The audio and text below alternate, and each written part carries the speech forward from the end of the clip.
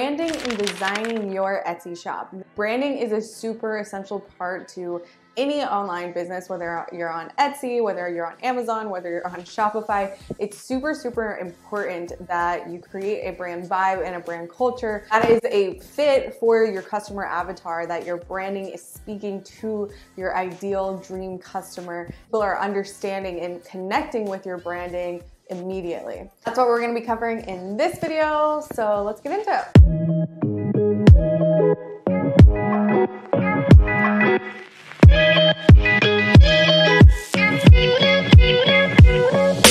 Guys, my name is Hannah Gardner. If you're new to the channel, I talk about mainly building brands on Shopify and Etsy, but a lot of other entrepreneurship stuff as well. I have made it my mission to share back every single thing that I've learned along the way on this channel. The fundamentals of branding an Etsy shop. On Etsy specifically, you have your logo, you have a banner, an Etsy banner, you have your profile image, you have your brand name, you have an about me section on your Etsy storefront page, you also have packaging. So branding your packaging of your products is super essential. You also have packaging inserts. So possibly an insert, a product insert that you put inside of your packaging when you ship your items to your customer. Then you also have other things like social media, like Pinterest and Instagram and TikTok and Facebook and there's just too many these days. And I don't always recommend people to just go straight into promoting your shop on social media.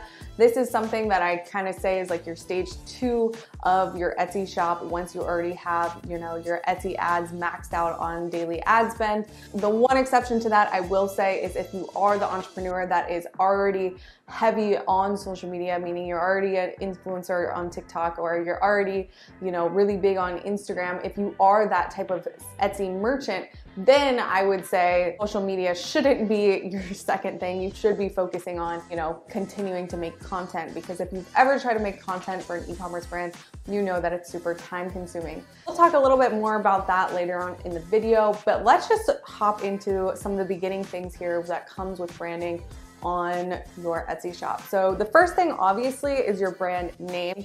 And when it comes to choosing your brand name, and all of these marketing assets as a whole, it, what you want to keep in mind is who is your customer avatar? Who are you speaking to?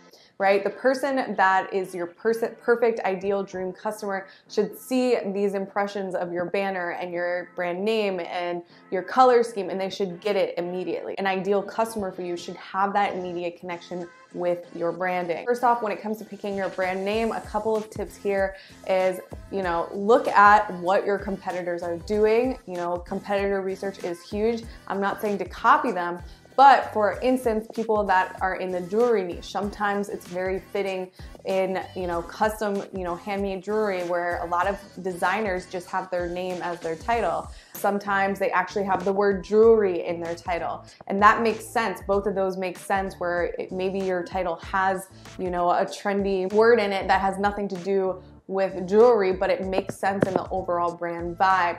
Where if you're somebody selling stickers in your custom sticker store or you're a custom, you know, photo printing shop, it doesn't really make sense to just have a shop brand name that is your name. You can do that. It isn't really a product fit where in that case I would suggest, you know, see what the market's already doing and what the top shops are doing. Are they using brand names like you know, designer names. Probably not. They're probably using something like Love Prints or Printing 101 Company or something like that where it has to do with that actual niche. So really analyzing the marketplace and getting inspired by what the marketplace is showing you and who's winning in the marketplaces for those certain niches is really gonna help you. Next thing we're gonna talk about is your shop banner. Now, when it comes to actually designing physical assets for your business. What you need to keep in mind is a brand color scheme. One designer explained this really, really nicely to me. Basically, it's very similar in the home decor space. If you're a famous interior designer, one of the first things that you do is you go to Home Depot or you go to the paint store and you start picking out all the colors that you like. And when you lay all those colors together, those colors should make sense and should make up, you know, these colors that are going to exist within maybe even your products and all of your product photography, maybe your video, maybe you know, your Instagram account. When you go to really, really popular Instagram accounts, when you look at their feed, all of the photos for some reason just make sense and flow together. And a big reason that is that way is because their color palette is pretty consistent throughout their feed. Back to the interior design example, you know, when an interior designer does that and they're picking out a palette, Essentially, one, the palette should make sense, so the colors that you're choosing should look good together. But then two, when you actually go and walk into that house, or in this case, walk into your business, when people are navigating through all your different product pages or you know your various banners that you have, or even your packaging, all those color accents should exist so it flows nicely together. And that's what really makes it a really good Instagram feed or a shop feed better than say a competitor that doesn't have that. So with your shop banner, one of the tools that I actually wanna share with you that is super essential. I've built every single brand with this tool. It's called Canva. Canva is like Photoshop for beginners. They literally have thousands of templates. Like if I come in here right now and literally type in Etsy banner, it's gonna spit back to me like dozens and dozens of examples of banners that I can choose from. Now, really cool about this is if I come in here and just click on one of these banners, what it's gonna do is it's gonna give me the template of the banner. So all I have to do in here is come in here and change, you know, the title, love prints, you know, if that was my shop name and stuff like that. But not only is it gonna give me, you know, inspiration for fonts and pairing fonts because pairing fonts is absolutely huge, but it's also gonna give me colors. We can come down here and we can add a different page if we want. And Canva is optimized to show you the most trending designs. Canva is literally what I use not only for logos, what I use for my banners, I use it for social media, I use this for my Shopify accounts for all of my emails that I send out for all my email marketing. When you first start doing branding and branding design for the first time, I don't want you to be super hard on yourself. When you're first starting out, it is easy to tell an amateur design from a professional design, but Canva does make it really simple for you to do this. But even if you, with Canva, you're like, I'm still hopeless, I don't like doing this. My other recommendation is to come in here and actually hire somebody on fiverr.com. Fiverr is where you can hire a lot of graphic designers so I can type in Etsy banner up here and you know it's to give you some people here that can do some design for you. And a lot of them will actually do a complete package of branding design for you for pretty cheap for less than a couple hundred bucks to have someone completely brand out your store for you. And sometimes you need to do that in the beginning especially if you're new at graphic design because it kind of gives you an inspiration or a different perspective of like oh I wouldn't have put those fonts together or put those colors together. And it helps you move forward or kickstart you know your store as a whole. Another really good thing to look at is using Pinterest. Pinterest is very similar to the sense where it's gonna optimize what is most trending in their feed. So if you go into Pinterest and type in branding inspiration or Etsy shop branding inspiration, they're gonna end up hiring a designer instead to do it for you. You can start creating a mood board and then outsource that work to an actual professional designer and you know they can go off your Pinterest mood board to then create the design that you like. The next thing that I wanna talk about is photography. Photography, again, should make sense with your overall brand vibe. So here's an example. Again, we have a really cute shop banner here. We have a really nice logo, which by the way, I didn't even mention logos. If I come in here and type in Etsy logo, it's gonna do the same thing and it's gonna give you a bunch of templates of logos. And again, it's just literally coming in here and dragging and dropping and changing the font or changing the text of what you want it to say. So Canva is a dream. But let's go back to our example here uh, when it comes to product photography. So as I mentioned before, you're seeing a reoccurrence of the colors, the overall colors to, you know, finish off that brand vibe. So, you know, we have some terracotta here. We're seeing some deep browns, terracotta neutral colors here. And overall, all the colors and the branding flows together. Product photography is so important. I cannot emphasize how important product photography is. You could literally be curing cancer, but if your product photography looks worse than your competition, your competition is going to outsell you every single time. I taught myself photography and I've always done all my product photography on a DSLR. Your niche and your competition is killing it with their marketing and their product photography. You need to come into the space also killing it with your product photography. So a couple of notes here. Again, the overall brand vibe is super congruent, a little bit off topic, but I just wanna cover why this store probably does really, really well. It's because of the bundled image photography. Like multiple products, and when you click on the product that's showing 10 little bonnets here, bibs, when you click on it, you don't actually get 10 of them. You're only getting the color that you want.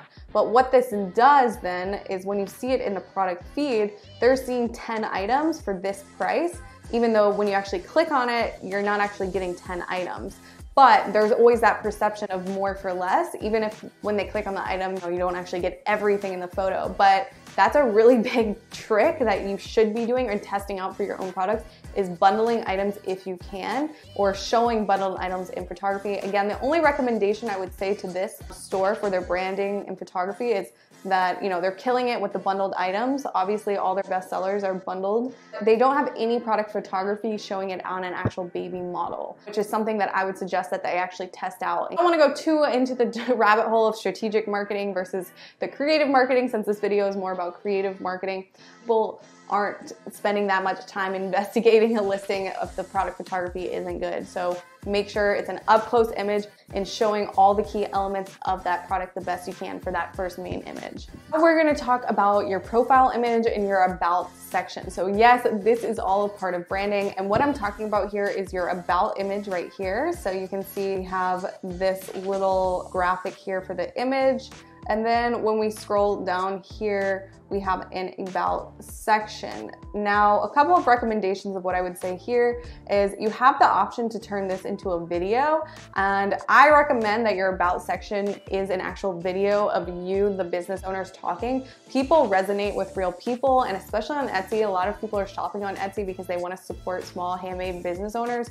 So that just helps that connection to your brand and who they're actually spending their money with that much more when they see a face behind the brand. So I almost recommend this be a video and then in the copywriting below, it's just a text it, the copy is basically just reiterating what you're saying in the video. Guys, people resonate with real people. Even if you're just taking a video on your iPhone and putting it there, I still think that serves a better purpose than a photo. Um, and basically in that video, I would be answering questions like who you are, what your mission statement was for the, the store that you're building. So what is your why? Why do you exist? What is the bigger reason that you wanted to build this store? Value proposition. So why your products are better than your competitors? Are you, is the quality better? Are you beating people on price? Does it have better features than others? Why is your product better than your competition? So all of that stuff should be included in your about section. Again, not that many people read your about section, but I, you know, I had people that would watch my video and message me on Etsy, oh my gosh, I watched watched your about video and I, it just resonated with me so much. And all of those little moments of truth, it can't hurt you. It can only help increase your sales. So again, we're setting up this for the Super Bowl, not the high school game. You might as well set it up the best you can. Another little thing that I want to mention here is when you come into the graphic or the image for your for your actual profile image, they have a graphic there instead of an image of themselves, which I almost recommend that you should actually put an image if it's you and your partner, if it's just you and yourself, an image of your face because again, people resonate with real people. One thing that I do want to mention for men, people trust women more on the internet. Like there's data that backs this. Like I'm not just like making this up. If you're a single male that owns an Etsy shop, I would almost recommend not putting your image just as a male by himself as your profile picture, especially if you're selling goods in a girl dominated niche. People just trust women more. I don't know why. Recommend in that case to at least change the image. Maybe it's you and your cat or you and your dog or something like that. It just helps that perception of trust that I'm spending money with somebody that seems more warm and cuddly. I don't know. I don't know. We're gonna talk about packaging and product inserts. Packaging is huge when it comes to your Etsy shop. It's such a massive impression and opportunity to leave a massive impression on your customers. So packaging, whether you're using mailers or boxes or whatever the case may be, some places to start with this is also Pinterest. So looking at packaging inspiration, some places that you can actually go and buy stuff. I honestly, I go on Alibaba and I type in packaging. I try to find eco-friendly packaging. The reason I go to Alibaba is because there is like endless customization designs of your packaging. So basically whatever you want, there will be a manufacturer that will be able to make it for you if you can create a mock-up or show them an inspiration photo of what exactly you want with what materials you want. Somebody on Alibaba will be able to make it for you. Another thing with Alibaba, I don't always go with the first manufacturer. I get many quotes from different manufacturers. Different manufacturers are gonna give you a bunch of different quotes and so you wanna be able to say, hey, this manufacturer offered me a landed cost, meaning including customization, including the product and including air freight shipping or sea freight shipping. What is that cost? And air freight versus sea freight is a completely different price. Sea freight shipping is super, super, super, cheap compared to air freight shipping. So you wanna make sure you're getting quotes for all of those things. When it comes to your product insert, which is putting a product insert inside of your packaging. Again, I come back into Canva and I can even come in here and type in Etsy thank you card and they're gonna give me a bunch of different thank you card examples here. You know, a card that you could essentially print out and put inside of your packaging. Again, that insert in your, you know, your packaging, all of that branding, colors, everything should be congruent and make sense.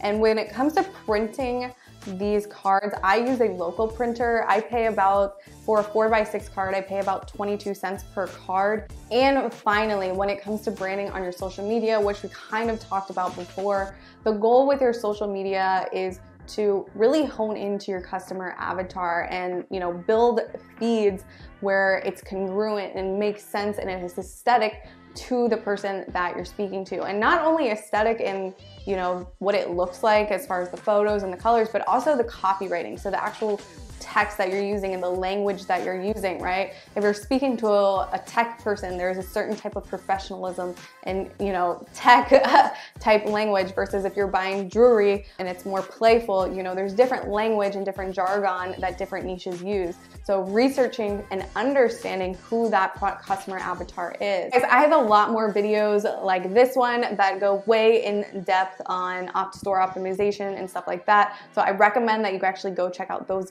videos. Keep learning and keep growing. Hopefully you got some value out of this video. If you did, please give it a thumbs up and comment any of your questions or concerns in the comment section. And I'll see you guys in the next video. Bye guys.